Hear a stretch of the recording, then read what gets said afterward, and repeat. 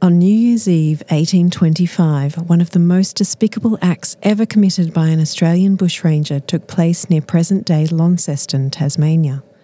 John and Elizabeth Tibbs and their baby son were taken hostage by a gang of bushrangers led by serial rapist, serial killer, and cannibal Thomas Jeffries, whose nickname was the Monster. They were marched for miles through the bush before one of the bushrangers tried to kill John Tibbs, at which point he managed to escape. But this left Elizabeth and the baby with Jeffries. When she wasn't walking fast enough for his liking because the baby was slowing her down, he took her son off her and killed him in the most horrific way. Later, he assaulted Elizabeth before letting her go the next day. The events of that day saw Jeffries later executed for his crimes. Hear the whole terrible story on the Ratbags and Roustabouts podcast.